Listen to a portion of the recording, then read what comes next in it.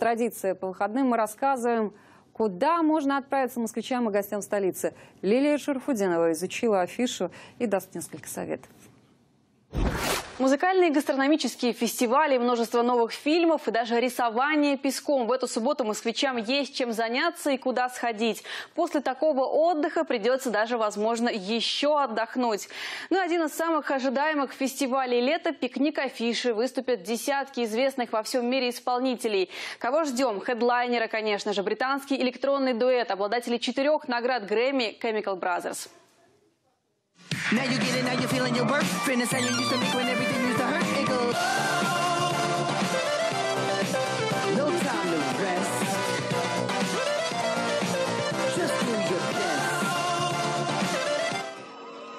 Не любите такую музыку, вот он шанс прислушаться. Возможно, все-таки придется по вкусу, либо найдете для себя там другие группы. На пикнике афиши также выступит Шнур со своей группировкой «Ленинград», сирийский музыкант Амар Сулейман, Скепта, группа Тесла Бой, Надя, рэпер Оксимирон, тексты которого школьники читают на уроках литературы. Ну и, как обычно, на афише можно будет присмотреть и купить интересные вещи российских дизайнеров.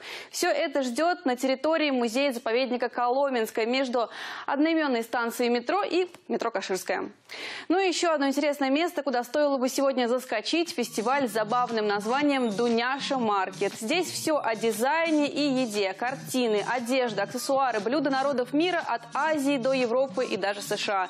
Найдется что-то и для самых искушенных – десерты, лимонады и все-все-все. Ну и, кстати, если оставить заявку на сайте фестиваля, то сможете выпить столько кислородных коктейлей, сколько вас только влезет. Все это бесплатно. Итак, центр ArtPlay доезжает доезжаем до метро на станции Чкаловская. Дальше немножко пешком, и вы уже на месте. Если хочется пищи духовной, открылась выставка главного отечественного мариниста Ивана Айвазовского. Культурный поход обеспечен только тем, кто уже успел приобрести билеты. Волны, корабли – разве не лучшая тема для лета? Обязательно к посещению, кстати, не только в эту субботу. Иван Айвазовский 200-летию со дня рождения. Так называется первая масштабная ретроспектива мариниста. Проходит в Третьяковской галерее на Крымском Красном Валу. Удобно пешком добраться от метро Октябрьская и Парк культуры.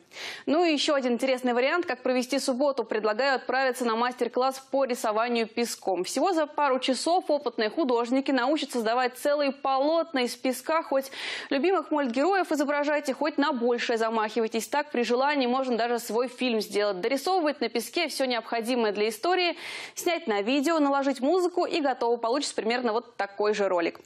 Ну, на мастер-классе без холста и красок ждут в творческой студии Сэнди Арт. Ближайшие станции метро – это Боровицкая и Кропоткинская.